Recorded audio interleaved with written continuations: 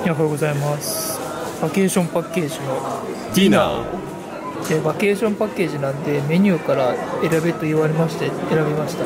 で一番高いやつを選びたかったんですけど一番高いやつがなんとカニとサーモンとイクラのちらし丼でですねあの、まあ、いわゆるイクラはわ私のあのちょっと苦手としてる魚卵が入っておりましてですねそちらちょっと避けましてじゃあ自候補ということで天ぷらうどん膳か天ぷら膳だったんですけども、えー天ぷらうどんにいたしました。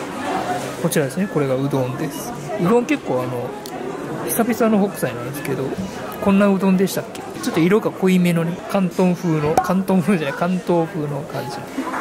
麻婆豆腐。出汁がい色が濃いからあの完全に東京のうどんじゃないですか。関西だったらねむっちゃいやむっちゃ濃いなこれ。こんな色濃かったっけ？でうどんは結構ね角張ってますんであのコシがありそうなそんなうどんであります。で天ぷらの方はこれなんだ？ろうパプリカかな？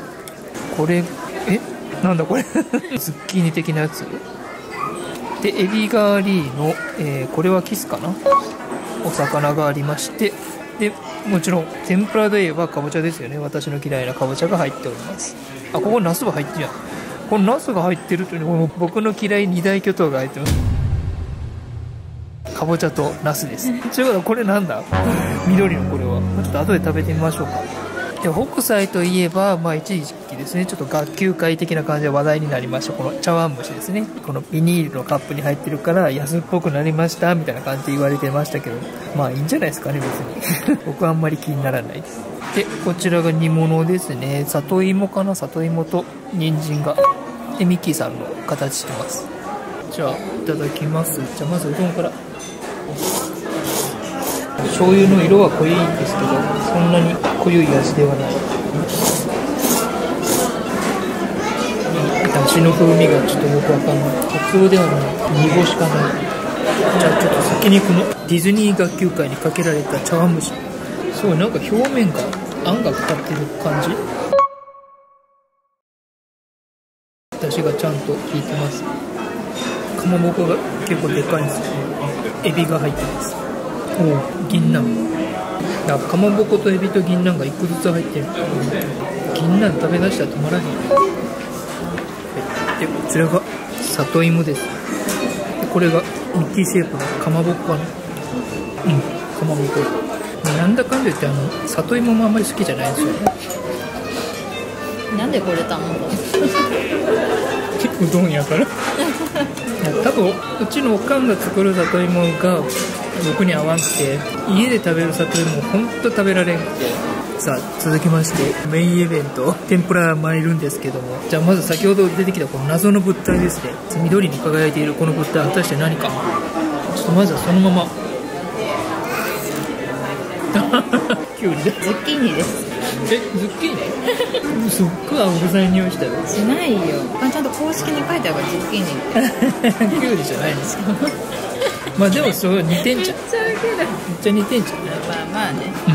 見た目もね。青いの食べたら次赤いのきますパパプリカ。でかい。そしてここで前半戦の締めとしてエビをいただきます。エビ最高。あと3本ぐらい食べれそう。尻尾も食べれんじゃない？食べれる食べれるさあそしてかぼちゃとナスビどっちが苦手かって言われたらやっぱかぼちゃなんですよね。ナスビってどっちかってそんなにこの味の主張ないじゃないですか。みずみずしいだけであってでこいつ味の主張激しいじゃないですか。かぼちゃって。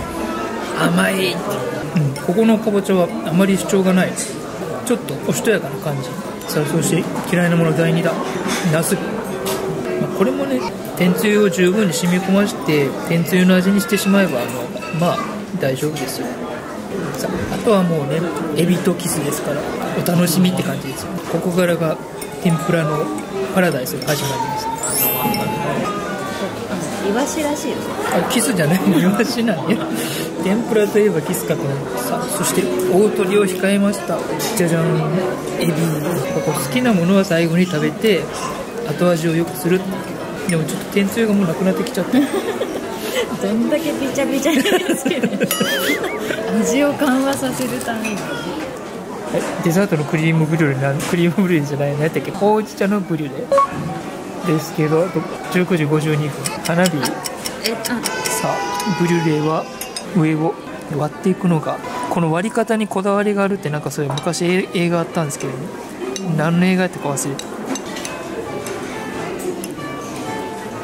うんうまい甘みの中にほうじ茶のほんのり苦みが漂う食感。